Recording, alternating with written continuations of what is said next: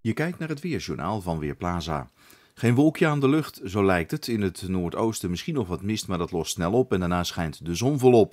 Temperatuur loopt vanochtend op naar zo'n 15, 16 graden, maar er komt echt nog wel wat bij. Deze temperatuur hebben we halverwege de ochtend bereikt.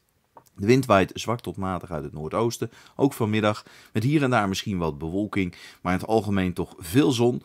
20 of 21 graden op de Wadden tot zo'n 4 of 25 in het midden en zuiden van het land.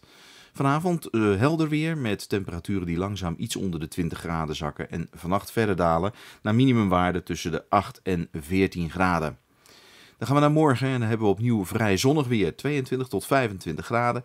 In het zuiden van het land is de kans op bewolking iets groter, met name in de middag en avond. En dan zou er vanuit België ook een enkele bui binnen kunnen trekken. Maar op de meeste plaatsen blijft het gewoon droog. Dan naar de vrijdag nog een zonnige start in het noorden, van het zuidwesten uit meer bewolking.